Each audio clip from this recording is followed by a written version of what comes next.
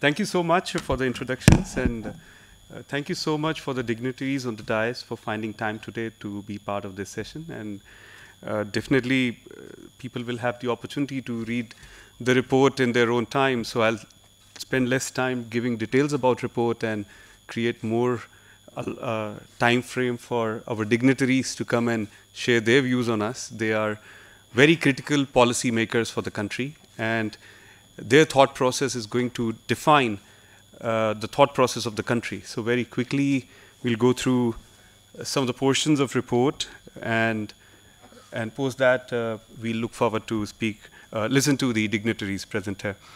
So very quick sequence, but something before even we reach uh, what are the findings. Uh, I definitely want to attach the concept of risk in overall concept of doing business. Quite often, these two aspects are seen independent of each other, which is, which is not going to help either risk management or the business management. So when we are looking at a huge uh, potential economic growth, we are already being uh, pitched at that we should be growing even faster than China. To do all that, we need strong investment to come into country. That's one of the key parameters which define how a country has availability of funds and how exactly the distribution of funds will grow, whether certain segments of economy, certain industries, and all other features. Anybody who will come with investment has got two parameters in their mind. One, how safe is my investment? Am I going to lose all of it? I'm sure even when you do at your, uh, at your own personal investments, you don't want to lose money.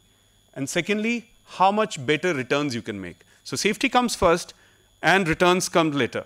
So risk in both the situations play a parameter because if the risks are managed well, the safety of your investment goes higher. And if risks are managed well, the cost of doing business is also reduced. So as a country, if we are looking at a huge investment coming in, we need to ensure we identify the risk and provide a better mitigation to them. So when we are doing these exercises, so these risks are being identified not to identify, but to mitigate. That's, that's the end objective, so that we have been able to find out what the risks are and accordingly address them. And, and I must uh, compliment and accolade uh, all of you and everybody else who has given contribution in terms of uh, providing inputs for the survey, because uh, when we conduct uh, this survey, all the professionals, policymakers, leaders provide their uh, views on what are the top risks.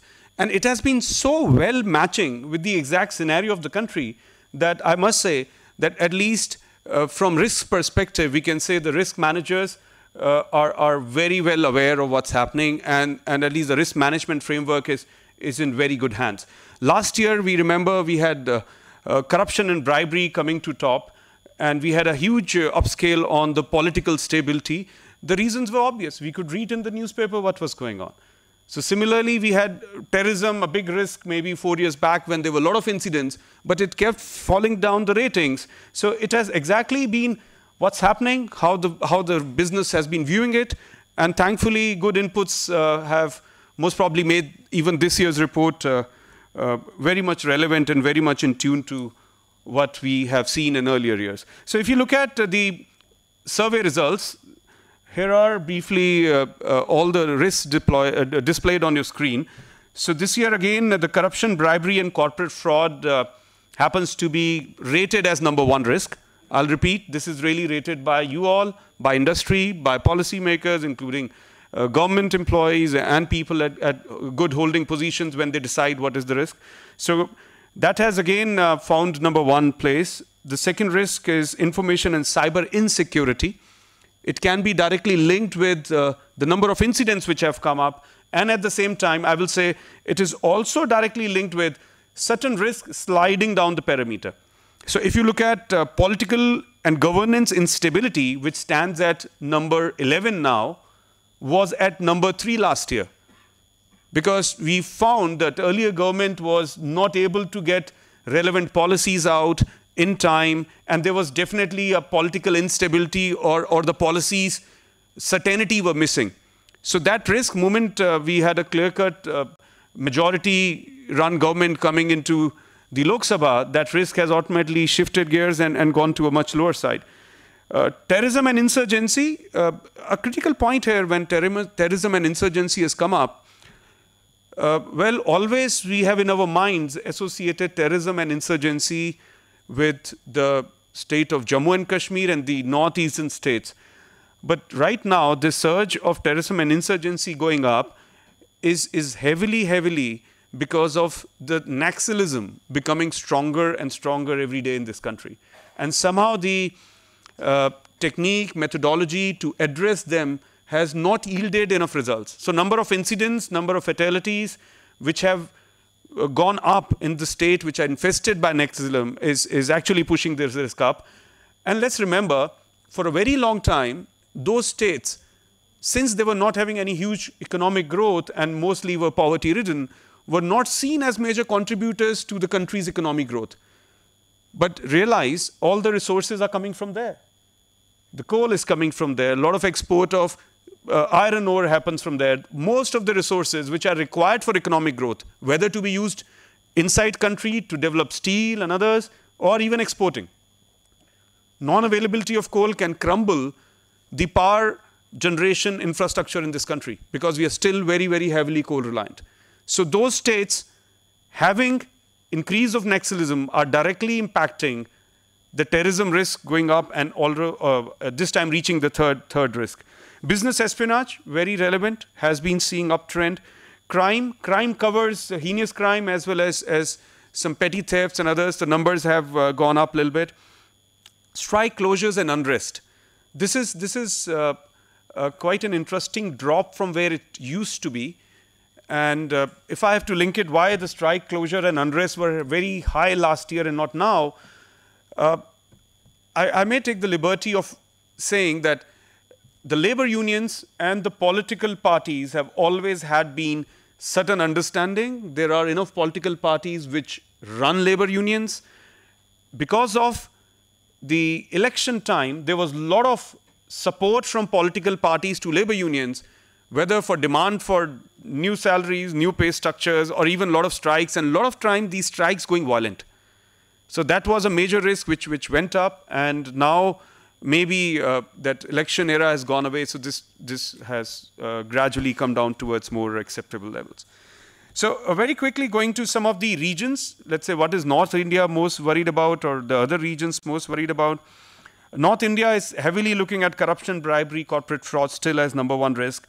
Whereas South, which is emerging, which is emerging as a major manufacturing hub, has rated the strikes, closure, and unrest as, as the number one risk.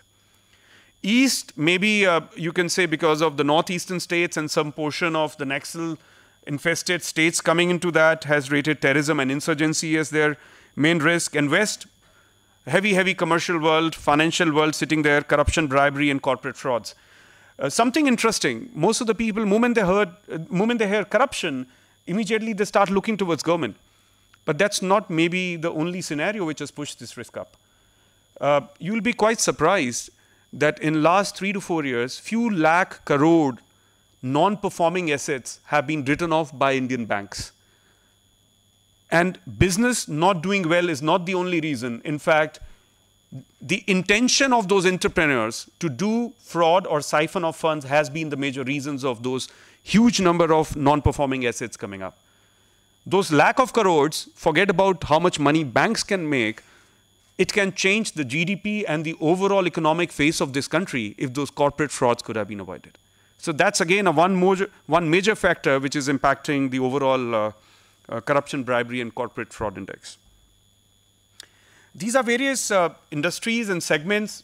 I'm, I'm, sure you will understand the IT will say information security being the top risk for me.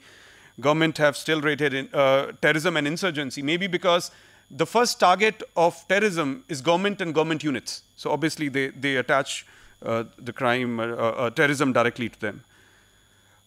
I definitely want to just spend a couple of minutes on this slide because this is how the outside India professionals or the investors view us. So this is all the people from outside India who pr provided the inputs in the survey. So here you will find workplace violence and sexual harassment going up it can be because of huge impact of the media and also almost civic unrest being caused once we saw there was uh, very heinous crimes against uh, females. That is one. Secondly, they also view the issues of strikes going to violent as workplace violence. So that's again one more feature which has pushed it up. Business espionage, I will say we need to uh, equip our law enforcement agencies as well as judiciary to understand this a little better than where we are as of now, because this is a very strategic risk for investors.